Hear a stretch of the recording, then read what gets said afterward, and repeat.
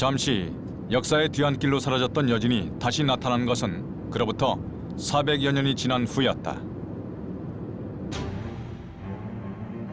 원나라의 뒤를 이어 새롭게 들어선 명나라는 대여진 정책으로 두 가지를 선택한다.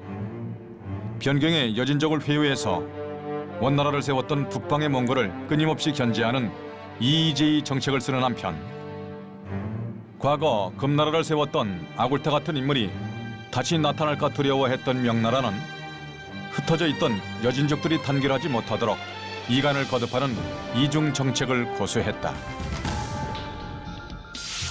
명나라의 분열 정책으로 오랫동안 세력을 키우지 못했던 여진은 오늘날 지린성 근처에 거주했던 건주 여진과 만주 중북부의 해서 여진, 송화강 북부의 야인 여진 세 집단으로 나뉘었는데 1500년대 후반 명나라의 세력이 약해지면서 여진족 전체를 통합하고 두 번째 금나라를 세운 창업자가 바로 건주 여진 출신의 누르하치다.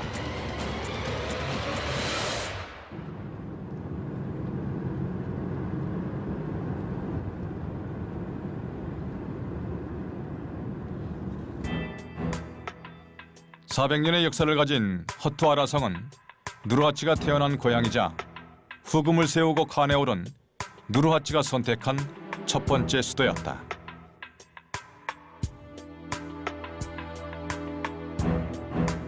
누르하치는 이곳에다가 성을 만들었는데요. 어, 내성과 외성으로 예, 지었다고 합니다. 내성에는 예, 왕족을 살게 하고 외성에는 정예부대를 둬가지고 왕족을 지키게 했는데 그 인원이 10만을 넘, 넘었다고 합니다. 그리고 누르하치는 예, 이곳을 근거로 삼아가지고 네. 한 10년 동안 자기 세력을 키웠어요. 키워서 만주를 장악하고 음, 그런 다음에 그걸 발판을 해가지고 1621년에 요양으로 천도하기 전까지는 이곳을 도성으로 삼게 됩니다.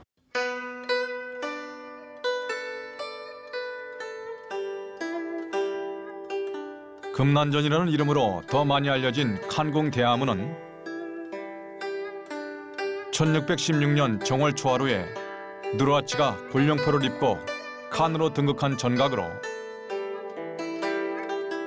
연호를 천명으로 정하고 두 번째 금나라 후금의 탄생을 선포한 역사의 현장이다.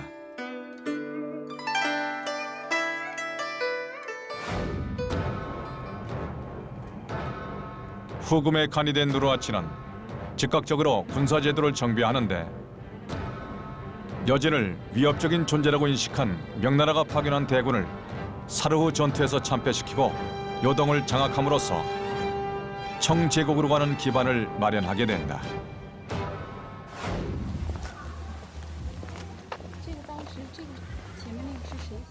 예. 생각보다 많이 긴 것 같아요. 그 돌로 돌로 어, 닦아가지고 만들었어요. 청왕조의 기반을 구축한 후금은 북방민족을 계승한 여진의 후예답게 고대의 샤머니즘을 숭상했는데 샤모니 신당인데 그럼 여기서 우리가 샤모니 그런 구슬을 볼 수 있는 건가요? 예, 그렇습니다. 아. 이 원래는 이제 그 누르하치가 네. 여기서 샤머니즘 의식을 치렀대요. 아 예, 그렇군요. 한번 들어가 볼까요? 네.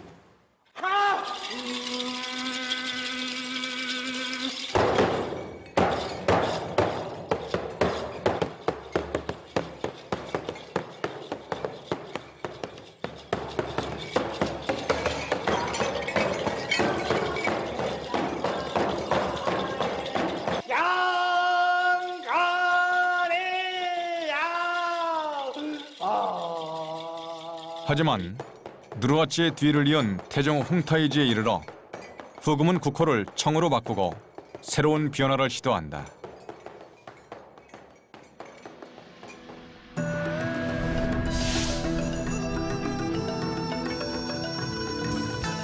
한국에서 비행기로 2시간 거리에 있는 선양시는 원래 누르하치가 정복한 명나라의 도시였다.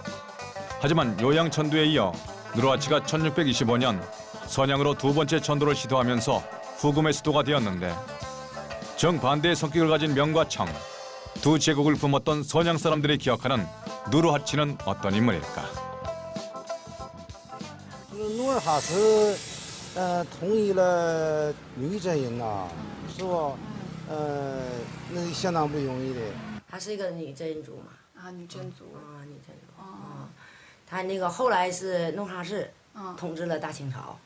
啊，完了建立了那个就是那个真正的那个满族嘛，哦啊。